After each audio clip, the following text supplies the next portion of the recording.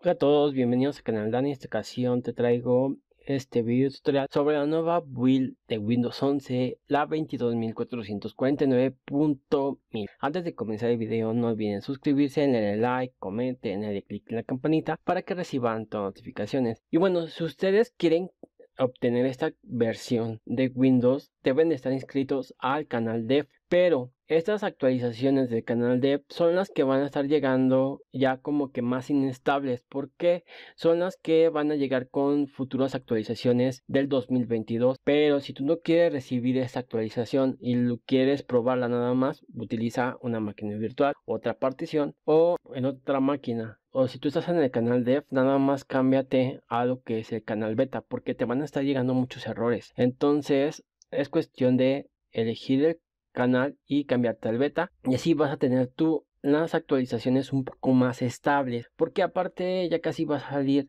para el 5 de octubre la versión oficial. Ok bueno entonces si a ustedes les llegó esta actualización nada más es cuestión de descargarla si la quieren probar verdad pero bueno, es, decisión de ustedes. Ok, aunque ya sea en esta build, la 22449, o el anterior que llegó también hace unos días, muchos usuarios tuvieron el problema de que cuando iniciaban sesión no podían abrir la barra de tarea. Entonces, una de las soluciones que está dando Microsoft es que si a ti no te aparece la barra de tareas, debes de poner control al suprimir para abrir el administrador de tareas.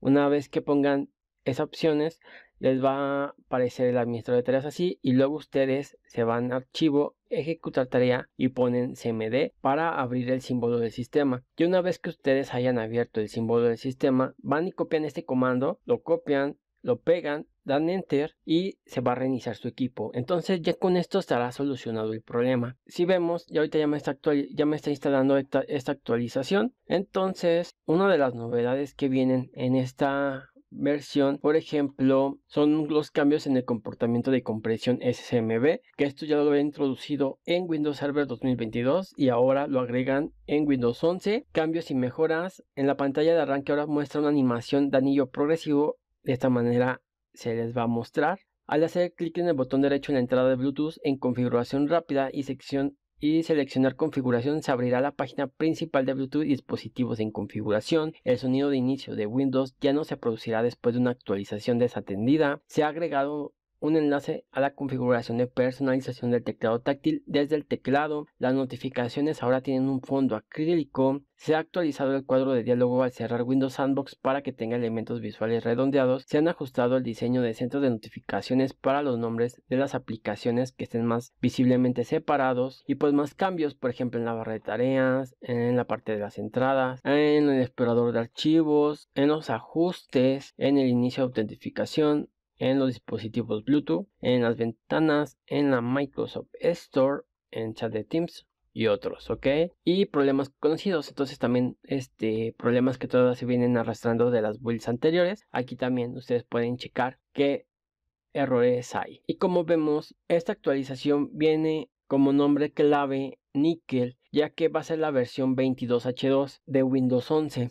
Entonces, como saben, cada versión de Windows viene con un nombre clave. Por ejemplo, la versión 21H2 va a ser Cobalt y pues la rama de Windows 11 que viene para el 2022 va a ser Nickel. Ok, entonces aquí ustedes pueden también ver la información sobre lo que es la nueva versión de Windows 11 en el canal Dev. Entonces en lo que se nos instala y vemos que no vamos a tener ningún error en un momento regresamos bueno aquí ya regresamos si vemos ya tengo ahora sí instalada la nueva build la 22449.1000 bueno a mí no me salió el error que les comenté al principio de que la barra de tareas se les quedaba colgada pero bueno en otro video vamos a ver ese tema, les voy a explicar varias opciones que pueden utilizar. Entonces, como vemos, ya tengo yo la nueva y pues ya salió una marca de agua que también en el próximo video les voy a explicar cómo poderla quitar por si no les gusta tenerla ok